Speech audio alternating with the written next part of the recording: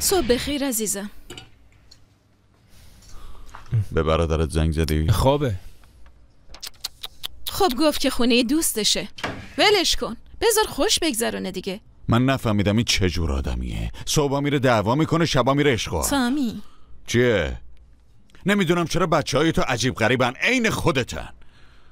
بالاخره برمیگرده میاد خونش. اومد. سامی آه. تو رو خدا دیگه به کوزه چیزی نگو. باشه؟ خواهش می‌کنم. ببین تازه از شر اون دختر چشم سفید راحت شده. صبح بخیر. صبح بخیر. بیا بالا. نه تو نمیام. کیف کوزه آوردم. دیروز توی راه جا گذاشته بود. باشه ممنون. گفتم کیفشو بیارم شاید لازم داشته باشه. ممنونم باشه. چه اتفاقی افتاده؟ به تو چیزی نگفت؟ دیشب با من تماس نگرفت. ما هم صحبت کردن. ازش قول گرفته که دیگه واسه کسی مزاحمت ایجاد نکنه. خب فقط همین؟ به ما اینو گفت. باشه خداحافظ. جمره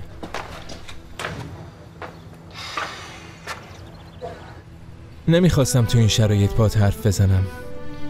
اما حالا که دیدمت خواهش می‌کنم حرفی نزن. نمی‌خوام در مورد بانو چیزی بشنوم. نه راجع به کاره. من باعث کنسل شدن کار تو نشدم. قسم می‌خورم. حالا برای چی قسم می‌خوری؟ جفتمون می‌دونیم که باعث لغو کار من شده. ناراحتم نیستم اتفاقا بهتر شد.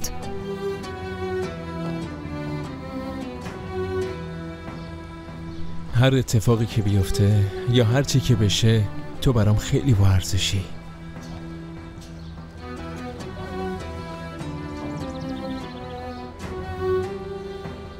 لابد انتظار داری منم همین حرفو بهت بزنم. که هر اتفاقی هم بینمون افتاده برای من خیلی با ارزشی گانه کیه؟ ای خدا.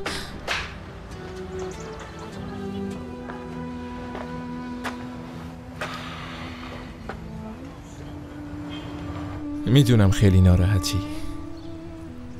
می‌دونم نمی‌تونی فراموش کنی. آره ناراحتم کردی. ولی فراموش می‌کنیم. زمان می‌بره ولی یادمون میره. هر دوتامون خیلی زود فهمیدیم چی کار کردیم. از این به بعد فقط دو تا دوستیم.